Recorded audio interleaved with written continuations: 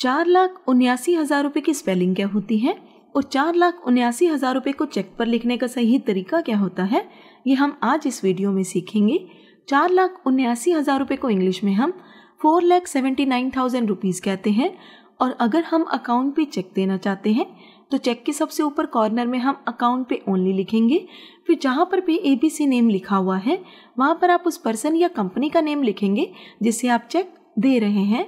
नीचे आप लिखेंगे four lakh seventy nine thousand rupees only और इसकी स्पेलिंग होती है F O U R four L E K H lakh S E V E N T Y seventy N I N E nine T H O U S A N D thousand R U P double E S rupees O N L Y only और उसके नीचे चार लाख उन्यासी हज़ार रुपये मात्र लिखने की ज़रूरत नहीं है, क्योंकि आप हिंदी या इंग्लिश किसी एक भाषा में ही चेक भरें।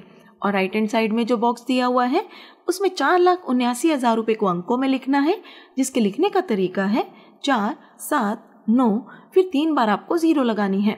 और नीचे जहाँ आपका नाम लिखा है, वहाँ उस नाम से ऊपर आपको अपने सिग्नेचर करने होते हैं।